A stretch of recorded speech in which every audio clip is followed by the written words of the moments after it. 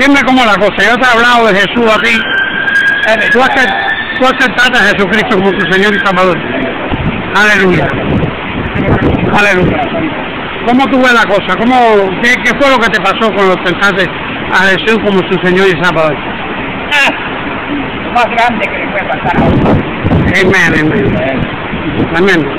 Amén.